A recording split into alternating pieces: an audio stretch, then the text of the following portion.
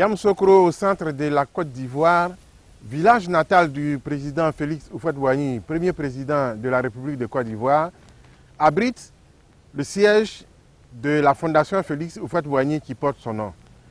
Nous allons vous inviter à faire une visite guidée dans ce que vous voyez, une grande bâtisse pour la recherche de la paix. Il y a quatre grands monuments qui représentent les sigles, nom et prénom et la fonction du président Fouette Boigny. Par exemple, vous avez la préfecture dans l'axe. Président P, préfecture, fondation F, Félix, hôtel président H, Oufouette, basilique B, Boigny.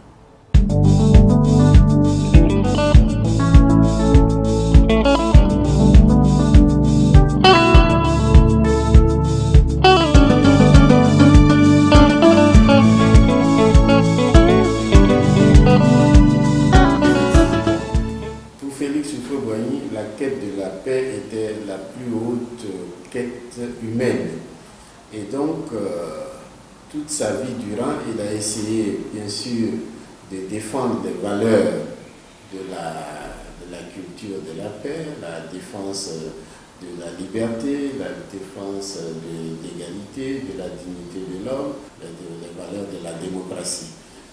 Donc, euh, il croyait à ces valeurs-là. Et son action politique rend compte de ces valeurs.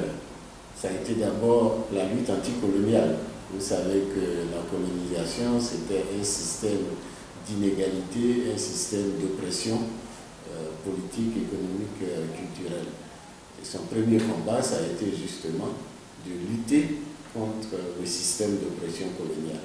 Ça a été la lutte anticoloniale avec euh, le Rassemblement démocratique africain, qui était une fédération de partis politiques de l'Afrique noire dite française et qui a permis d'amener le colonisateur français à faire des réformes et en fin de compte à permettre une indépendance négociée pour ses anciennes colonies. Quand il a pris les rênes de la Côte d'Ivoire, il, s'est employé à bâtir une nouvelle nation en se fondant sur ces valeurs-là, ces valeurs de liberté, ces valeurs de justice, d'égalité, de tolérance et de paix. Il n'y a pas de paix possible sans une transformation des attitudes, des comportements individuels et collectifs. Quel sens on peut donner à la création de la fondation qui porte son nom, la Fondation Félix Boigny pour la recherche de la paix Au départ, la fondation a été créée en 1973 en tant qu'institut de recherche politique et historique. C'était de rassembler toute la documentation sur la lutte anticoloniale du Rassemblement démocratique africain et faire des recherches politiques et historiques. En 1986, après le, le colloque international sur les RDA, sur les 40 ans du RDA, à cette occasion-là, le président Boigny a demandé que ce, cette fondation qui porte son nom ait une ambition beaucoup plus vaste de ne plus se contenter de recherches historiques sur le RDA, mais de devenir un centre international de recherche sur la paix, où tous les hommes de bonne volonté viendraient confronter leurs idées et voir comment établir une paix durable en Afrique, bien sûr, mais également dans le monde. C'est le sens de la création de la Fondation Félix Houphouët-Boigny pour la recherche de la paix. Que représente au plan national et international cette fondation Nous avons deux départements de recherche, un département de recherche sur la paix et un département de recherche historique pour les recherches sur l'histoire non seulement de la Côte d'Ivoire mais aussi de l'Afrique. Donc au plan national c'est cela. Au plan international nous avons le prix Félix Houphouët-Boigny pour la recherche de la paix décerné par l'UNESCO, qui est soutenu par la Fondation Félix Houphouët-Boigny. Au plan international, nous nous mettons dans la mouvance des recherches sur la paix. Nous faisons partie aussi d'un réseau des fondations et institutions de recherche pour la promotion d'une culture de la paix en Afrique. Donc voilà un peu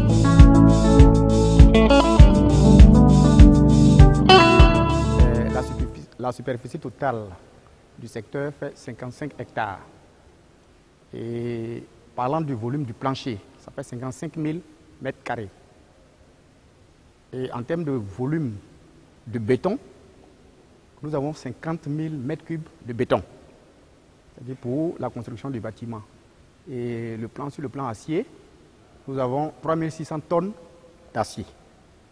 Et puis, quand on regarde le vêtement par marbre, ça fait 100 000 mètres carrés. Et le staff qui sert de décoration, ça fait 17 000 mètres carrés. En ce qui concerne le service technique, il est composé de sept services. Il y a le service électricité, le service climatisation, le service plomberie, le service ascenseur, le service audiovisuel et électronique, la sécurité incendie et l'espace vert qui constitue, je dirais, la carte postale de la Fondation Fauboigny. Sur le plan électrique, nous avons 13 700 kVA en puissance électrique installée. Et en termes de climatisation, nous avions à l'époque trois centrifuges qui produisent chacun 2 millions 7 frigories heure, ce qui fait euh, une puissance installée de 8 millions 100 frigories heure pour la fondation. Nous avons 20 transfos, cellules transfo. Nous avons deux groupes électrogènes de 1000 kVA chacun. C'est-à-dire qu'avec ces deux groupes électrogènes, on pouvait éclairer Yamoussoukro pour donner un peu une dimension de ce que c'est que la fondation. Le salon euh, VIP où nous recevons toutes les personnalités avant de les accompagner dans les différentes salles de réunion. Et là, ce salon VIP est composé de deux tables en marbre. Vous avez deux petites à l'entrée et une grande table. On peut l'aménager selon les circonstances. A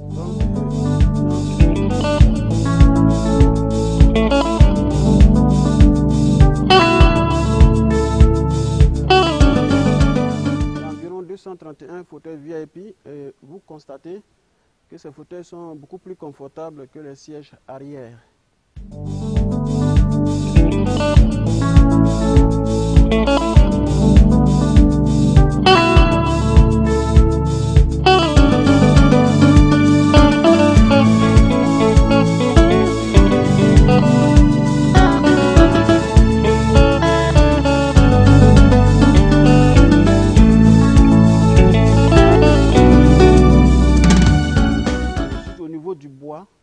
Président Félix Houphouët-Boigny a fait venir euh, de certains continents euh, une façon de dire que cette fondation a un caractère international.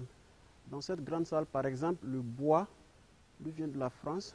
La France, qui représente tout le continent européen. Ce bois s'appelle la loupe de frêne. La loupe de frêne. Ici, nous sommes à un niveau plus bas, euh, au bâtiment des congrès moins 1. Et nous avons au total 24 bureaux à ce niveau qui sont réservés aux organisateurs des conférences, des congrès, pour, installer leur administration durant leur séjour. Et à la fondation, tout est symétrique. Tout ce que vous avez à l'aile est, vous avez la même chose à l'ouest et une partie centrale. Et nous sommes à l'aile est, on a 12 bureaux ici et 12 bureaux à l'aile ouest. Nous sommes au hall du niveau moins 2 et cet espace-là sert d'exposition.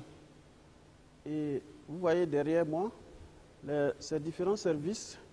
Et à l'époque, il y avait des problèmes de communication. Ce n'est pas comme de nos jours, on a la facilité d'appeler, presque tout le monde des portables. Et les, séminaristes n'ont pas besoin d'aller en ville. Vous avez tout sur place. Vous avez la poste de télécommunication. Vous avez l'échange pour la monnaie, la banque. Et vous avez la- la vente des journaux. Et ensuite, la réservation des billets de voyage.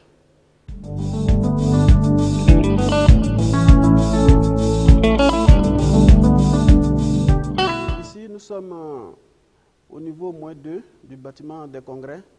Et ici, c'est la salle C, qui a une capacité d'accueil de 400 places assises.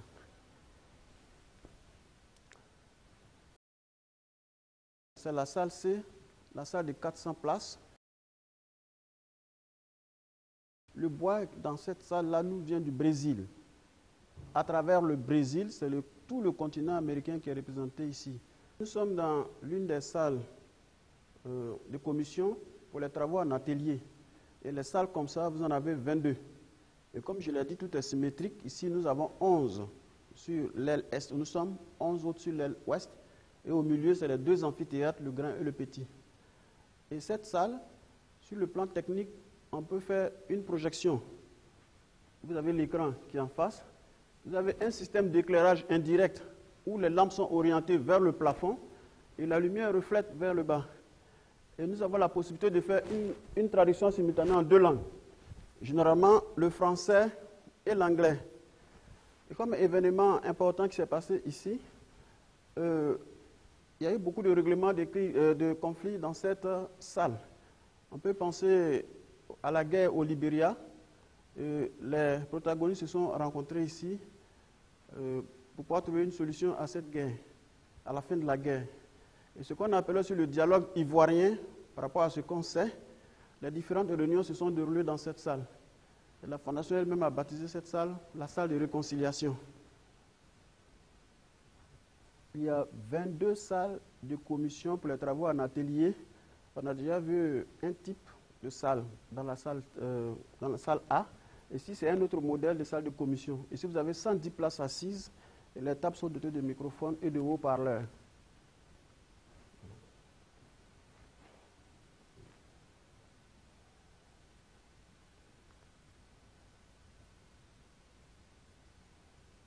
Ici, nous sommes au quatrième étage du bâtiment administratif.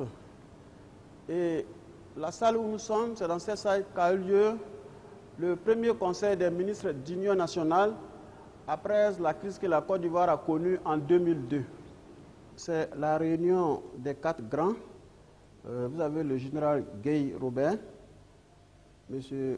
Alassane Ouattara, M. Laurent Gbagbo et M. Bédier. Cette grande réunion s'est déroulée ici à Yamsokro. Vous constatez, durant toute la visite que nous venons d'effectuer, partout vous avez du marbre. Le marbre nous vient de trois pays, le Portugal, l'Espagne et l'Italie. Et nous avons 25 000 mètres carrés de marbre. À ce sujet, le président Félix Houphouët-Boigny disait, et je cite, Tout ce qui est cher est moins cher et tout ce qui est moins cher est cher à la longue. Parce que le marbre, est cher, vous voyez que c'est posé depuis 30 ans, mais il est encore intact. Donc nous avons 25 000 mètres carrés de marbre. En ce qui concerne les vitres, nous avons 7 400 mètres carrés de vitres. L'un de nos plus grands projets, c'est l'archivage numérique de tout, de, tout notre, de tout notre fonds documentaire concernant le RDA, le syndicat agricole africain et le PDCI et même la vie du président Félix Poigny. C'est l'un de nos projets qui nous tient à cœur, même au secrétariat général de la Fondation, pour pouvoir vraiment diffuser l'histoire des peuples africains jusqu'à leurs indépendances, diffuser même leur lutte, leur lutte jusqu'à leur indépendance, comment cela s'est passé, tout ça. ces, informations, les publier au niveau d'Internet, de façon hiérarchisée, de façon cohérente, faciliter les recherches, ne pas qu'un utilisateur, un usager ou bien un chercheur qui se trouve par exemple loin de la fondation, dans un autre continent, partout dans le monde, puisse consulter toutes, les, toute, notre base documentaire, tous nos archives sur les syndicats agricoles africains, sur le RDA, sur le PDCI. International de documentation est un service qui ressort du département de la recherche historique. Il a une superficie de 5200 mètres carrés. Il comporte une salle de lecture, des locaux de, stockage, un atelier de restauration des ouvrages, comporte aussi euh, des bureaux et des salles de réunion. Ici, nous sommes à la salle de lecture. Comme vous pouvez le voir, nous avons plusieurs tables. Ici, se fait la consultation de nos documents. Alors, nous avons ici deux types de consultations. Il y a la consultation qui peut se faire sur les ordinateurs, tels que vous voyez là. Et là, on peut consulter Internet. La salle peut prendre à la fois 80 personnes. Ce sont des documentations euh, divisées en quatre sections. Il y a la section des monographies. Voilà, les monographies sont tout à fait au fond ici. Donc, euh, ce sont des ouvrages qui parlent euh, de la Côte d'Ivoire, du RDA, des ouvrages qui parlent du président Fouboigny et de la résolution des, conflits. Voilà. Alors, donc nous avons les monographies. Et actuellement, nous sommes à plus de 4000, 4500 euh, ouvrages. Voilà. Et nous avons aussi la section des archives. Alors, nos archives euh, portent sur euh, les archives coloniales, de l'administration coloniale, et il y a aussi les archives qui portent sur la création de la fondation depuis 1973 jusqu'à 1992. Nous avons également des archives sur le RDA. Les périodiques que nous avons, euh, nous avons présentement 250 titres. Nous avons 250 titres au moins. Et ces périodiques-là partent depuis les années coloniales. Nous avons les, journaux de l'époque coloniale, tels que le Réveil, tels que la collection euh, Liberté. Nous avons d'autres titres encore, Afrique noire, ainsi de suite.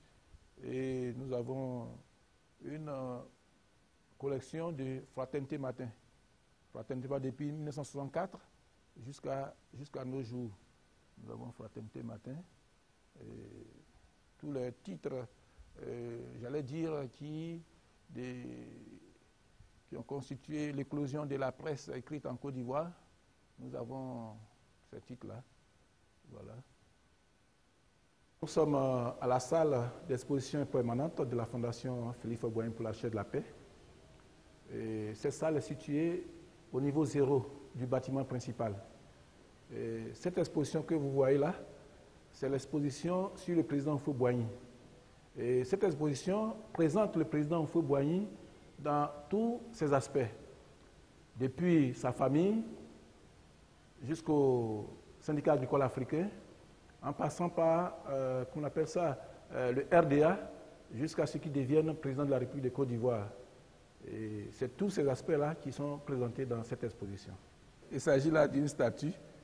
Et quand vous regardez euh, le siège dans lequel il est assis, vous voyez deux béliers qui sont des pattes et d'autres. Voilà. C'est le symbole hein, du président Fouboigny. Ou Foué-Boigny. Boigny qui veut dire le bélier. Voilà. pourquoi le symbole du bélier?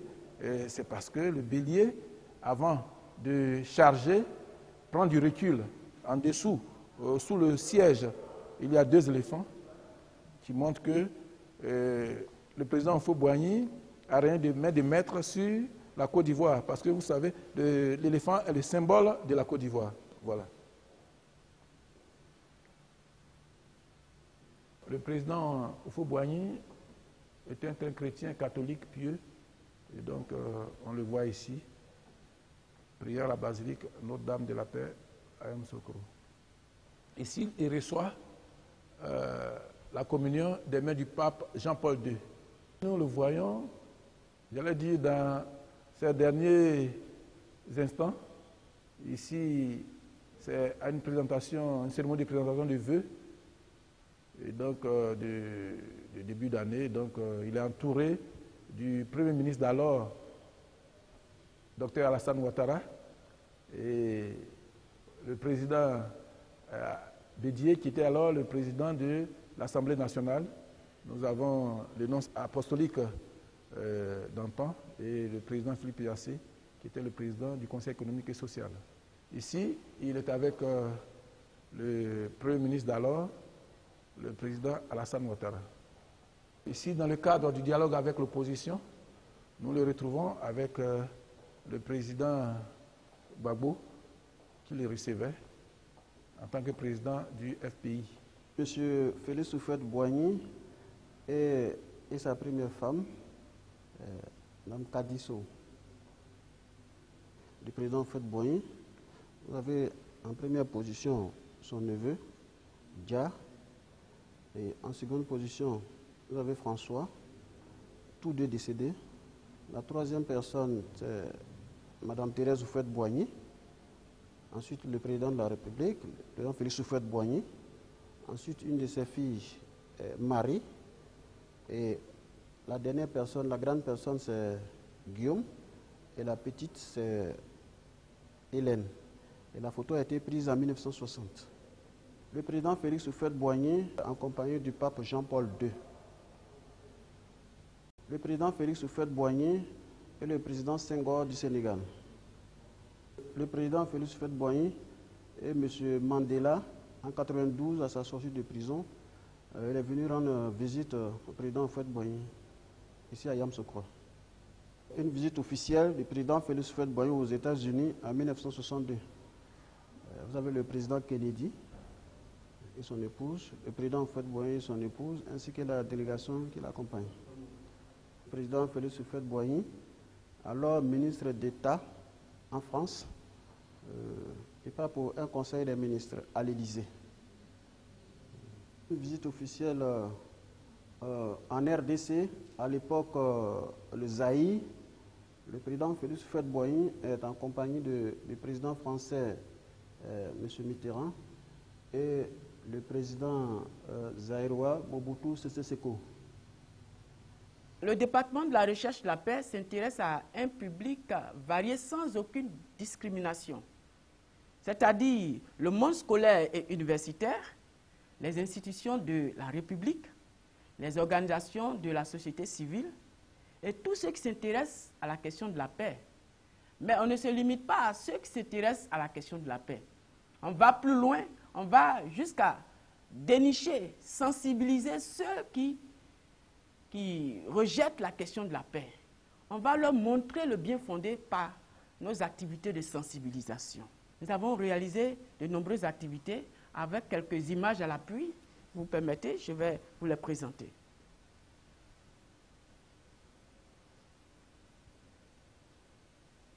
Ici, en 2008, nous avons formé la société civile, les membres d'institutions républicaines et les leaders politiques. Vous voyez le thème, c'était le citoyen et la culture de la paix. Nous avons formé la société civile en 2013. C'était le forum sur la paix est possible. Et nous avons formé également la jeunesse de la sous-région, c'est-à-dire qui regroupe le Mali, le Burkina Faso et plusieurs autres pays. Nous sommes déplacés, nous sommes allés au Burkina Faso pour mener cette activité en 2013. Et nous avons formé ici en Côte d'Ivoire les fidèles de la paroisse catholique de Nembo. Ils viennent de Boaké, c'était en 2009. Je voudrais préciser que notre public n'est pas seulement national, il est international. Donc, euh, c'est pourquoi nous sommes déplacés pour aller au Burkina. Le Conseil supérieur des imams, le COSIM, en 2010, cette activité a permis à ces imams d'être sensibilisés à la paix et de pouvoir œuvrer euh, à, la, la paix, à la réconciliation au niveau de... Lorsque, lorsqu'a éclaté notre conflit, lorsqu'a éclaté notre conflit, ce qui a permis au conflit de s'éteindre assez facilement. Et Amne- Amnesty International, qui est une ONG, a été formée en 2011. Les acteurs du monde du sport, ils ont été formés en 2012. Pour vous dire que le public est vraiment varié. Nous avons même formé la FECI Flash de l'université euh, Félix Boigny, le Cocody, en 2009. Nous les avons formés. Vous voyez les images. Nous formons aussi les enseignants, les éducateurs, les conseillers d'orientation en 2012 parce qu'ils sont chargés euh, de véhiculer euh, les valeurs aux enfants. Ceux-là, ils ont besoin d'être impactés par la culture de la paix. Nous avons formé des ONG telles que le Parlement des jeunes, PJCI, en 2008. Nous avons formé la JIPAT, qui est la jeunesse panafricaine démocrate, en 2008 également. Nous avons formé les élus cadres et membres du corps préfectoral. Nous avons formé des préfets. Nous avons formé des organisations internationales telles que l'ISESCO en 2009. Et pour ne citer que ces quelques activités, pour vous dire que la Fondation travaille, la Fondation travaille et elle est au service de la population. Elle est au service de la paix et nos activités sont menées gratuitement, sont libres et gratuites. On peut nous solliciter, nous nous déplaçons de façon gratuite. Et donc la Fondation est ouverte. C'est votre institution.